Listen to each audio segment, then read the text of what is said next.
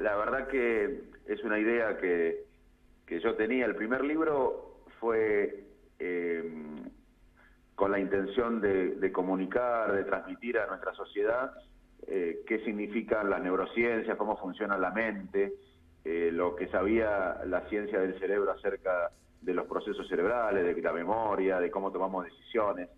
Y este libro, en ese libro, digamos, había una transmisión de conocimiento científico hecho en forma dinámica, pero mm, era difícil refutarme porque era lo que decía la ciencia. Este libro es una invitación al lector a que nos pensemos como sociedad. ¿Qué nos pasa a los argentinos eh, al funcionar colectivamente? No, no es diferente el cerebro argentino al de un ruso, al de un colombiano, al de un americano, en términos anatómicos, de estructuras, pero la cultura, las historias compartidas, la gente que nos rodea influye en el cerebro. Y bueno, este libro es una eh, invitación al lector que nos imaginemos entre todos eh, cómo, funciona, cómo funcionamos colectivamente y si eso eh, impide o no eh, el desarrollo, cómo, cómo funcionamos colectivamente. Entonces, el libro tiene una parte científica donde transmite información sobre cómo funcionamos los seres humanos influidos por los demás, por la gente que nos acompaña, y, y también cómo las sociedades, la cultura influye en nuestro cerebro. Eh, nuevamente fue de la partida, eh, fue tu coequiper, este amigo, como vos lo, has tildado, Mateo Niro. Trabajar con él, eh, lo dijiste cuando presentaste tu libro acá, es un verdadero placer y me imagino que lo sigue siendo en esta segunda etapa, en este segundo hijo que has presentado, Facu.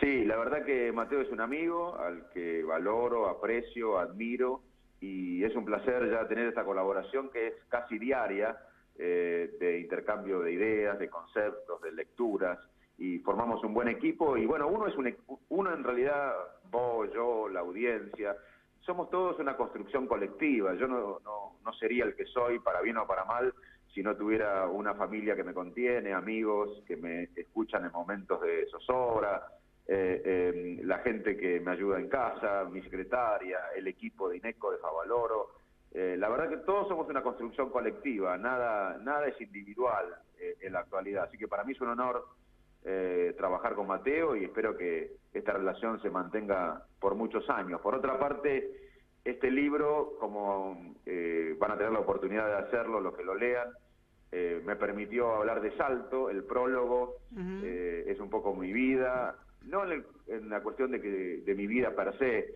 sino es un estímulo para alguien joven, eh, que tiene miedo, pero también sueños, que sepan que con el trabajo, con, con la educación, con la mirada a largo plazo, superando las dificultades del día a día, eh, uno puede lograr los, los sueños. Es eh, un libro dedicado al joven argentino también, el joven que está ahí con, con muchos sueños, pero también con miedos, incertidumbres, y para eso en el prólogo trato de explicar mi vida, y por supuesto como Salto es parte importante de mi vida, hay eh, muchas partes donde nombro a Salto, inclusive eh, consejos sabios. Yo, yo hablo que uno en Salto con, tenía la oportunidad de convivir con, con todo el mundo, con todas las clases sociales, con todas las edades, eh, y bueno, había sabiduría y valores a la vuelta de la esquina y gratis, ¿no? Cuento anécdotas de, de Rollín cuando trabajaba en la imprenta, que Néstor Rollín me decía que en un país eh, con alta retórica, hay que desconfiar de los elogios, sobre todo cuando son grandilocuentes. También hablo del chino Cepeda, que eh, nos enseñaba ajedrez en compañía, pero el ajedrez del tiempo, no de la codicia. Y bueno, me, permite este libro también mostrar mis raíces. Eh, por suerte está teniendo mucha acogida y yo creo que va a ser un libro que a diferencia del anterior, que era una transmisión de conocimiento sobre el cerebro, en este el lector se va a sentir mucho más eh, eh, capacitado para criticar, para criticarme, para tener ideas propias. Esa es la idea, que, el lector critique el libro, se haga eh, más activo que con el primer libro, donde tenía que recibir información sobre cómo funcionaba la mente. Esta es una información sobre cómo funciona la mente en forma colectiva, cómo funcionamos los seres humanos rodeados por los demás, cómo influyen los demás y la cultura en nosotros, pero la idea también es pensar un país y eso lo tenemos que pensar entre todos. Eh, Usar el cerebro, bueno, quienes hemos tenido la posibilidad de, acercarnos a lo que fue la presentación que hiciste en el Colegio San Martín, eh, nos llenó de orgullo que hayas venido, que hayas estado presentando eh, usar el cerebro. ¿Vas a hacer lo mismo con el cerebro argentino? ¿Tenés pensado hacer una, permitirnos este regalo a los saltenses que vengas por aquí? Por supuesto, por supuesto. Eh, siempre me encanta ir a Salto y me encantaría volver al colegio y presentarlo nuevamente ahí. Eh, y, bueno, también de esa manera también transmitir a los jóvenes que alguien de ahí pudo cumplir los sueños con el trabajo duro, con, con la educación y con, con, con, una sociedad que lo ayudó para, para realizar sus metas. Así que para mí sería muy importante. El único tema es que eh, este año tengo como 4.000 invitaciones a diferentes lugares. Eh, y, a veces no puedo, por ejemplo, ahora este fin de semana pensaba ir a Salto, para, pero al final no voy a poder ir porque el domingo tengo que viajar. Eh, mi vida es un poco complicada con los viajes al exterior y, los viajes internos en Argentina y muchos fines de semana que o llego el sábado o me voy el domingo y lamentablemente no, no es fácil encontrar un hueco, pero ni bien pueda encontrar un hueco y me inviten, voy a hacerlo, voy a ir a Salto. Tengo, alguna, tengo algunas invitaciones pendientes en Salto y bueno, la voy a cumplir a todas juntas.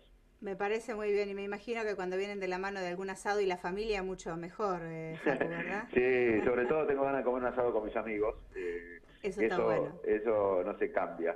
Y bueno, y la verdad que ni bien encuentre un, huequito voy, a ir a Salto y voy a, además eh, para mí es un placer. No duermo, en ningún lado duermo tan bien como eh, en, mi, en mi casa de Salto.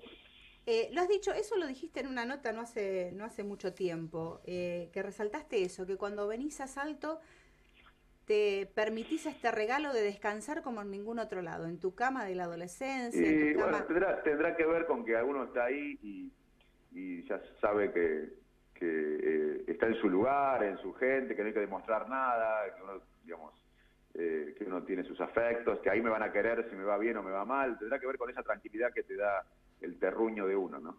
No sé por qué, no lo analicé, pero la verdad que duermo bárbaro. Eh, nos has contado y este, tu mamá ha dado fe de que es así. Eh, Facu, te saco de, de, salto y te llevo a Rodríguez Larreta, que te convocó después de este terrible que tuvo el efecto Time eh, Rap en eh, Buenos Aires, en Costa Salguero, y te convocó a una mesa antidrogas. Eh, y la reta fue contundente a la hora de hablar de, tus cualidades, de tu profesionalidad, de tu profesionalismo y capacitar a su gabinete. Em, ¿cómo, ¿Qué lectura haces de esto? vos que siempre estás tan relacionado y te enfocás tanto en eh, la juventud, en los jóvenes para conformar un mejor país.